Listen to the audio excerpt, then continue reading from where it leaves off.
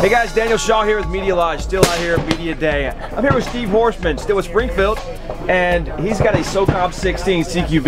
Yes. Tell us a little bit about that CQB. The CQB, since we came out with the gun about 10 years ago, we've been trying to figure out a way to make it a little bit more quote unquote, I guess, tactical for the, those guys that use like tactical term.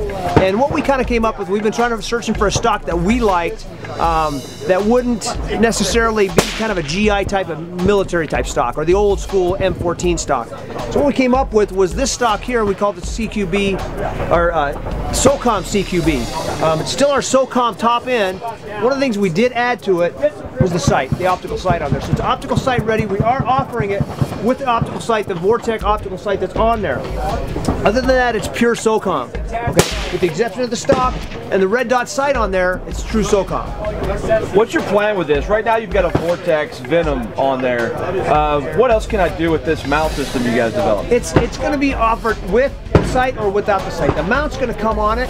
Um, so you're able to mount any of the small little red dot sights on there. That was our goal, was to keep the thing small and compact. We didn't want to make it another deal where you had a big, you know, one to six or a big magnified scope on there. The whole idea was keep it small, lightweight, and kind of an entry type of gun for a, for a police department, for example, that's looking for a rifle that's more than a 223 556, but not a big, giant, heavy, you know, 22 inch perimeter rifle, kind of sniper type of thing, you know, but still wants the power of the, the, the 308 cartridge. Very cool. Now, the stock here, you changed that quite a bit. You talked a little bit about it. The stock has been changed quite a bit. What we did was we, we went back and forth with this grip here, for example, to get the, the correct grip angle from the trigger. A lot of times you think, well, why is there a gap in the trigger guard and the grip? Well, part of that came from you know, getting a, a good uh, trigger finger movement, reach from the grip. We put it too close, it brought the trigger finger in too, too tight on the trigger. So we pushed it back a little bit. We experimented with where that location was.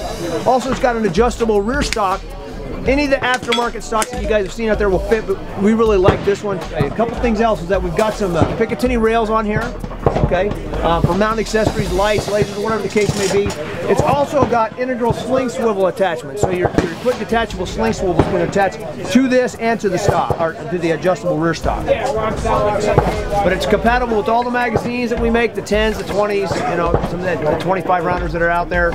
Um, one of the struggles we had was keeping this, this mount clear of the ejection you know, and they we went back and forth, back and forth with it, um, and finally got it to the point where the thing ran reliably with that setup right there, like it is. And that just essentially just goes in the old the old M14 buffs. The stripper clip guide is where that where we mounted that that in there. Right. So, awesome. Thanks for showing Steve. You got it. Appreciate it. Guys, I'm Daniel Shaw here with Media Lodge out at Media Day. Thanks for watching. Stand by for more.